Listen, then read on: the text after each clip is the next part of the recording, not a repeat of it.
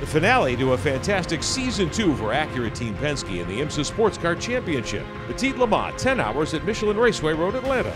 The six car of Dane Cameron and Juan Pablo Montoya, with Simon Pagenaud joining in, needing to stay trouble free to wrap up the 2019 championship.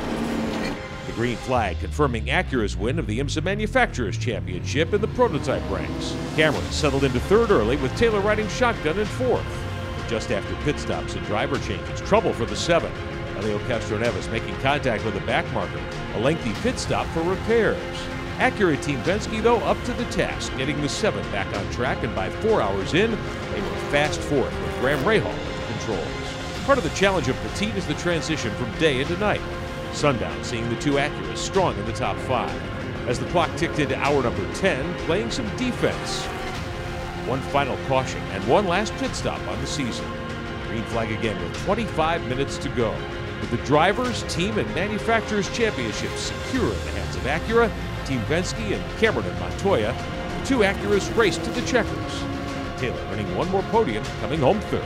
Really great day for Acura Team Penske with the team championship, the manufacturers championship for Acura. Um, really happy with the way the year went. Uh, unfortunately, we came up a little short there at the end, pushing really, really hard uh, to try and get a win at the end, and came up just a little short. But uh, really excited about uh, 2020. We're going to be uh, stronger than ever. Montoya was right behind in fourth, enjoying the Acura Championship sweep. It's just cool. It's a great team effort, you know. Uh, I think Acura came last year with the hopes we would do this, and you know, last year we got, you know, Elio and and Ricky got their first win, and and this year, you know, we got three wins in the championship. We couldn't really ask for a lot more.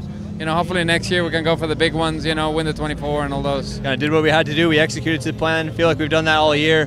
So yeah, super super happy to uh, to be able to achieve this for Acura, Team Penske. Everyone did a great job. Uh, so yeah, I just can't thank everybody enough. So happy to be a part of it.